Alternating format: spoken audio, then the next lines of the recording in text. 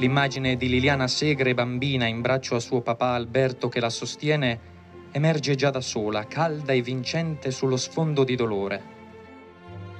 Questa opera sarà l'immagine che i ragazzi vedranno prima di entrare nelle classi. Sarà sicuramente un'immagine che susciterà la loro curiosità e ci consentirà di descrivere non solo la figura di Liliana, ma la sua battaglia per la memoria contro il razzismo, contro l'indifferenza, contro l'odio quelli che si possono chiamare uomini e donne, quelli che sanno fare la differenza, sceglieranno sempre un ponte che unisca gli uni agli altri, ma che non assomigli mai a quelli che fanno muri e non ponti.